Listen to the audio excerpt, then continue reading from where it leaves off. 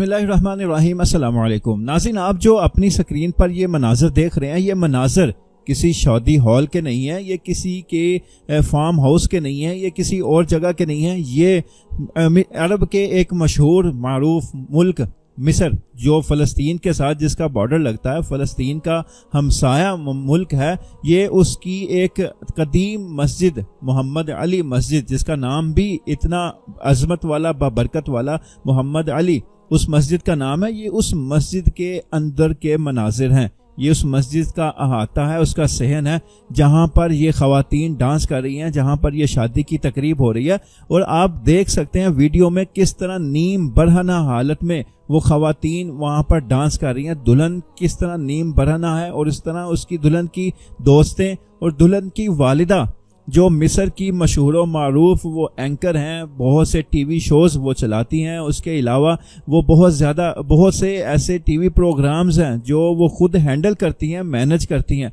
इस हवाले से वो मिस्र में बहुत ज़्यादा फ़ेमस होने के साथ साथ वो एक सेलिब्रिटी है मिस्र की। तो उसकी बेटी की ये शादी है, जो मिस्र की एक कदीम मस्जिद के सहन में मुनद की गई।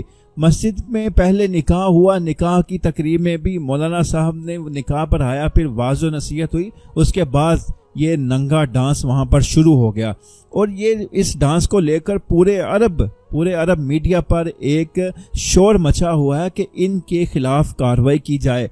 मिस्र के सरकारी अहदेदारान भी वो अल अरबिया को इंटरव्यू देते हुए उन्होंने कहा कि इनके खिलाफ कार्रवाई की जानी चाहिए, ये इजाज़त किसी को नहीं मिलनी चाहिए। जो तकदस दुनिया के हर इबादत गाह का है, हर इबादत गाह, वो चाहे चर्च हो, मंदिर हो, दुनिया का कोई इबादत गाह हो, उसका एक तकदस है। और सबसे बढ़कर तकदस वल्ला के घर, मस्जिद का है। वो मस्जिद, चाहे मस्जिद अक्सा हो या मस्जिद किसी मिस्र की मस्जिद हो तो दोनों का तकदस वही है जो एक मस्जिद का है। तो इसलिए इस मस्जिद के तकदस को पामाल किया गया। मिस्र की हकूमत इसका नोटिस ले और इसके खिलाफ कानूनी कार्रवाई की जाए।